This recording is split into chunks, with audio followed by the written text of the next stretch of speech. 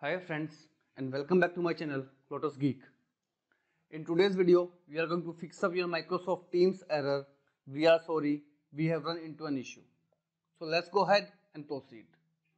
The very first method that you need to perform is to disconnect your Wi-Fi.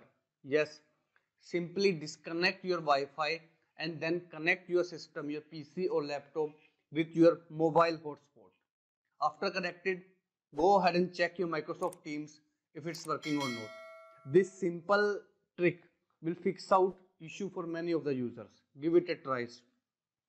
Now if this doesn't work out, we are going to proceed to the second step. Open your settings menu. In settings menu, choose your accounts. Click on access work or school. And here, if you are trying to sign in using a work or I mean like work or your school account, simply click on this connect option to connect your work or school account. If the account is already added, click on the disconnect button available in front of you to the connected account, then reconnect it. After reconnecting, don't forget to restart your system. This will fix out your issue. Now if this also doesn't work out, the third step is to quit Microsoft Teams completely. Now click on the start menu and type run. Now type here percentage app data percentage and then hit the enter button. Here open Microsoft folder and find Teams folder over here. Here you will find a lot of folders. The first one is blob storage. Open it whatever data present over here you need to delete the data. Same thing you should do with cache databases and index db now after that open your service worker folder.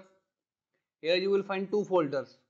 Open each of the folder and delete whatever present inside these folders.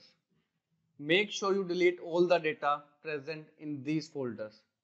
The data in my folder is completely empty that's why I do not have anything to delete. But make sure you delete the data whatever present inside these five folders. At your end, you may fi find more than five folders like six or ten folders, but not to worry.